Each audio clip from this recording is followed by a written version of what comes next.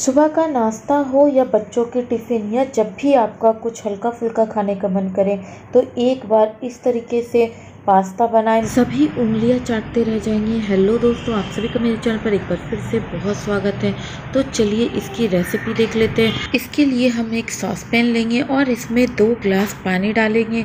पानी हमारा हल्का सा गर्म होना स्टार्ट हो गया है। हम इसमें एक चम्मच तेल डालेंगे। तेल आप कोई सा भी कुकिंग ऑयल यूज़ कर सकते हैं और गैस का फ्लेम इस टाइम पे हाई रखेंगे और इसे ढक करके हम एक मिनट के लिए हाई फ्लेम पे अच्छे से गर्म होने देंगे, जिससे पानी हमारे जल्दी गर्म होगी। और अब हम इसे चेक कर लेंगे, पानी हमारा काफ़ी अच्छे से गर्म हो गई है। तो हम क्या करेंगे, इस टाइम पे पास्ता डालेंगे। पास्ता आप किसी भी शेफ का ले सकते हैं। ये मार्केट में इजीली सभी दुकानों पे मिल जाती है। और अब हम गर्म पानी में पास्ता डालकर इसे अच्छे से चलाते हुए मिला लेंगे, जिससे पास्ता हमारे पानी के अंदर अच्छे से कवर हो जाए। और अब हम इसे ढक करके मीडियम फ्लेम पे दो से तीन मिनट के लिए पकने देंगे। पास्ते को बॉईल होते हुए तीन से चार मिनट हो गए हैं तो हम क्या करेंगे? इस तरीके से चेक कर लेंगे। और अब आप देख सकते हैं, पास्ता हमारा पहले से काफ़ी अच्छे फूल के डबल हो गई है। तो अब हम क्या करेंगे? इस टाइम पे गैस का फ्लेम ऑफ़ कर देंगे, क्योंकि हमें पास्ते को इतना ही पकाना है। और अगर आप इसे इससे ज़्यादा पकाएँगे तो ये ओवर कुक हो जाएँगे और फिर आपका पास्ता बिल्कुल खिला खिला नहीं बनेगी। और अब हम पास्ते का एक्स्ट्रा पानी निकाल लेंगे और अब हम पास्ते को साइड में रखेंगे और अब हम एक पैन या कढ़ाई लेंगे, गैस ऑन करेंगे और कढ़ाई को हाई फ्लेम पे अच्छे से गर्म होने देंगे। कढ़ाई हमारी अच्छे से गर्म हो गई है तो हम इसमें दो से तीन चम्मच तेल डालेंगे। यहाँ मैं मस्टर्ड ऑयल का यूज़ की हूँ, पर आप इसकी जगह कोई सा भी कुकिंग ऑयल का यूज़ कर सकते हैं जो आपको खाना पसंद है और आप इसमें ऑलिव ऑयल का भी यूज़ कर सकते हैं, या फिर आप इसे बटर से भी बना सकते हैं। और अब ऑयल हमारा अच्छे से गर्म हो गया है तो हम इसमें दो चम्मच बारीक कटे हुए लहसुन डालेंगे। आप लहसुन की जगह लहसुन का पेस्ट का भी यूज़ कर सकते हैं और लहसुन डालकर हम इसे दो से तीन सेकंड के लिए अच्छे से चलाते हुए तेल में पका लेंगे। लहसुन को यहाँ मैंने 15 से 20 सेकंड के लिए अच्छे से तेल में पका ली हूँ। तो अब हम क्या करेंगे, इस पर बारीक कटे हुए मीडियम साइज़ के एक प्याज डालेंगे।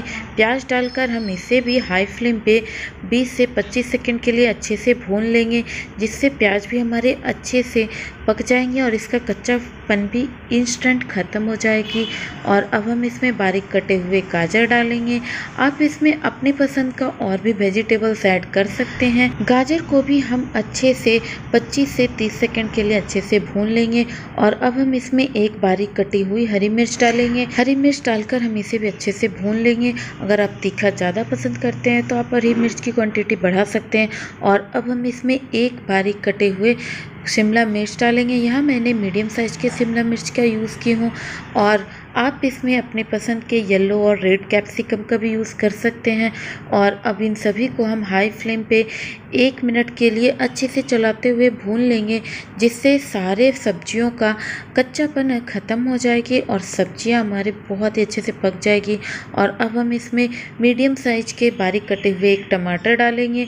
टमाटर की जगह आप टमाटर प्यूरी का भी यूज़ कर सकते हैं टमाटर डालकर हम इसे भी अच्छे से सारे सब्जियों के साथ मिक्स करते हुए भून लेंगे।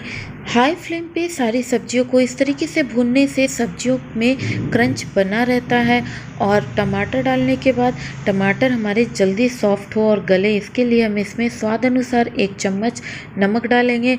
नमक डालकर हम सारी सब्जियों को फिर से एक बार अच्छे से मिक्स करते हुए नमक में मिला लेंगे। इस टाइम पे गैस का फ्लेम मीडियम कर देंगे और गैस का फ्लेम मीडियम कर देंगे और मीडियम फ्लेम पे हम इसे एक से डेढ़ मिनट के लिए पकने देंगे और अब हम इसमें दो से तीन चम्मच स्वीट कॉर्न डालेंगे। स्वीट कॉर्न डालकर हम इसे फिर से सब्जियों के साथ अच्छे से मिक्स कर लेंगे और अब आप देख सकते हैं सब्जियों को पकाते हुए लगभग दो से तीन मिनट हो गए हैं। तो सब्ज़ी हमारी काफ़ी अच्छे से पक गई है और अब हम इस टाइम पे इसमें उबले हुए या बॉईल किए हुए पास्ता डालेंगे। पास्ता डालकर गैस का फ्लेम एक बार फिर से हाई कर लेंगे और हाई फ्लेम पे हम इसे चलाते हुए सब्जियों के साथ अच्छे से भून लेंगे। जिससे पास्ता का कच्चापन ख़त्म हो जाएगी और पास्ता में सब्जियों के साथ भूनने से इसका बहुत ही बढ़िया फ्लेवर आएगा। और अब हम इसमें एक से दो छोटी चम्मच ऑरिगेनो डालेंगे। ऑरिगेनो डालने से पास्ता हमारे बहुत ही ज़्यादा टेस्टी और स्वादिष्ट बनते हैं। और अब हम इसमें दो से तीन बड़े चम्मच टमाटर केचप या टमाटर सॉस डालेंगे।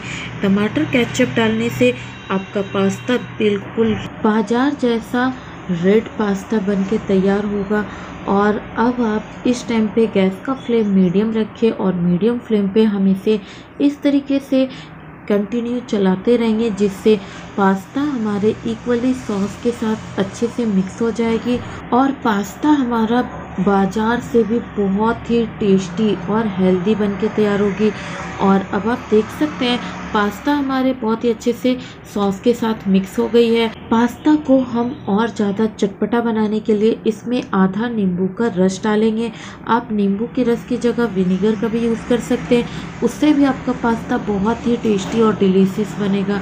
और अब हम नींबू का रस डालकर इसे फिर से अच्छे से मीडियम फ्लेम पे ही चलाते हुए मिक्स कर लेंगे। और ये लीजिए हमारा पास्ता बहुत ही बढ़िया और कलरफुल बन के तैयार हो गई है। तो हम क्या करेंगे? गैस का फ्लेम इस टाइम पे ऑफ़ कर देंगे और पास्ता को हम एक बार फिर से चला लेंगे और अब हम इसे ढक करके पाँच मिनट के लिए ठंडा होने देंगे, जिससे पास्ता में सारे फ्लेवर अच्छे से आ जाएँगे। पाँच मिनट हो गए हैं और चलिए अब हम इसे गर्मा गर्म सर्व कर लेते हैं। इसके लिए हम स्पैचुला से पास्ता को एक बार फिर से अच्छे से मिक्स कर लेंगे और अब हम इसे गर्मा गर्म प्लेट पे सर्व कर लेते हैं और आप देख सकते हैं पास्ता हमारे कितने ज़्यादा कलरफुल और यम्मी दिख रहे हैं। ये बनाना जितना ज़्यादा आसान है, खाने में कहीं ज़्यादा हेल्दी और टेस्टी लगेंगे। आप एक बार इस तरीके से पास्ता बना के देखिए। बच्चों को तो गारंटी है कि बहुत पसंद आएगी और आप इसे लंच बॉक्स में भी दे सकते हैं। ये लंच फिनिश करके आएँगे और अगर आप बड़ों के लिए बना रहे हैं तो आप इसमें काली मिर्च और एक से डेढ़ चम्मच शेजवान सॉस भी डाल सकते हैं, जिससे ये और ज़्यादा तीखा और टेस्टी लगेगी। और अब मैं आपको इसे टिफ़िन में भी सर्व करके दिखा रही हूँ। कि आप इस तरीके से गर्मा गर्म बनाएँ और बच्चों के टिफ़िन में भी दे सकते हैं? बच्चों को टिफ़िन में भी ये बहुत पसंद आएगी। और आप इसे 10 से 15 मिनट में इंस्टेंट और जल्दी बना सकते हैं। इस तरीके से आप पास्ता बनाएँगे तो घर के बच्चे हो या बड़े बाज़ार या रेस्टोरेंट का पास्ता भूल जाएँगे और अब आप इसे इस तरीके से सुबह का नाश्ता, टिफ़िन या फिर जब भी आपको कुछ हेल्दी और टेस्टी खाने का मन हो तो आप इसे बनाएँ। और अगर वीडियो पसंद आई हो तो वीडियो को लाइक करें, चैनल को सब्सक्राइब करें और अधिक से अधिक शेयर करें। मैं आप सभी के लिए ऐसे ही ईजी रेसिपी लाती रहूँगी। Thanks for watching